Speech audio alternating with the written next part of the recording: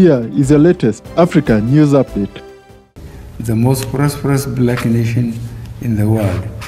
The president of Nigeria, Muhammadu Buhari, has claimed the West African nation and Africa's largest economy is arguably the most prosperous black nation in the world. Buhari recently made these comments during the unveiling of Nigeria's 60th independence anniversary logo.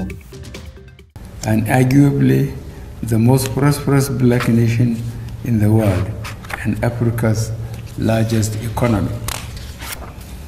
It is therefore with a deep feeling of national pride and I hereby announce to you that together shall we be the theme of our nation's 60th anniversary celebration. Here at would like to know your thoughts on the president's claim. Leave us your opinions on which country you think is the most prosperous black nation. We invite every African, African in the diaspora, and any person of African descent to discuss in the comments below. And please remember, be kind. If you like informative and educational videos on Africa, make sure to like, subscribe, and hit the notification bell to catch all our latest videos.